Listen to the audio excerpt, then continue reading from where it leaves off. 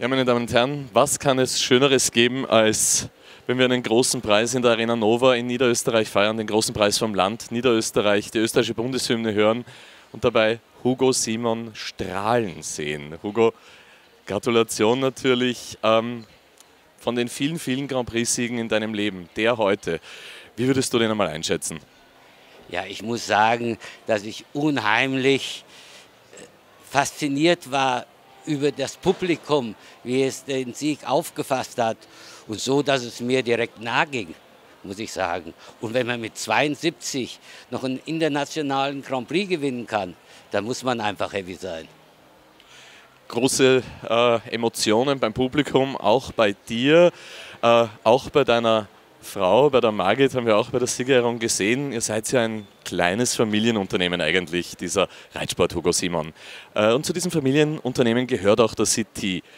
Du hast ihn heuer im Sommer groß äh, mittel geritten und jetzt seit der Arena Nova wieder groß. Warum? Ja, ich musste, ich musste erst, Freddy ist ein Nachwuchspferd von mir, den habe ich schwer geritten, wollte erst mal sehen, ob er die schwere Klasse gehen kann. Das hat er bewiesen und da habe ich gesagt, so, jetzt reite ich den Freddy, dass er schnell wird und den Kleinen, dass er hochspringt. Und er hat letzte Woche schon den großen Preis gewonnen, diese Woche wieder den großen Preis gewonnen. Ja, besser kann man sich ja das nicht wünschen. Es sind diese Prüfungen, die im Umlauf sehr, sehr technisch sind und wo man sich dann im Stechen wirklich überlegen muss, wo kann man die Zeit gut machen, wo machen die Jungen vielleicht einen Fehler. Das war immer deine Spezialität und du beweist es ein ums andere Mal. Wo war es diesmal, wo du gesagt hast, so und da kaufe ich euch den Schneid ab? Ja, ich habe gesehen, wie äh, Köfler viel riskiert hat. Er wusste, es kommen zwei Schnelle hinterher, hat viel riskiert, hatte dann zwei Abwürfe. Dann habe ich äh, eben mit CT kurze Wendungen gemacht aber ich habe am letzten Sprung schon viele Springen gewonnen, auch viele verloren. Und heute habe ich gesagt, am letzten Sprung bleibst du mal brav. Und das hat sich ausgezahlt. Das hat sich absolut ausgezahlt, Hugo. Ähm, du bist hier in der Arena Nova bei dem Turnier von Michael Rösch seit vielen Jahren auch Stammgast. Was zeichnet dieses Turnier für dich als Reiter aus? Ja, das muss man miterlebt haben. Das kann man gar nicht erklären.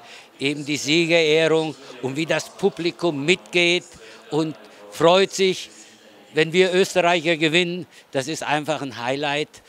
Das gibt es nicht auf allen Turnieren. Und deshalb komme ich gern her, weil eben erstmal das Publikum mag mich, ich mag das Publikum, weil es ein Fachpublikum ist, gemischt mit Leuten, die das vielleicht einmal sehen, auf der Messe hier sind. Also insgesamt ist es für mich einfach ein Muss hier zu reiten.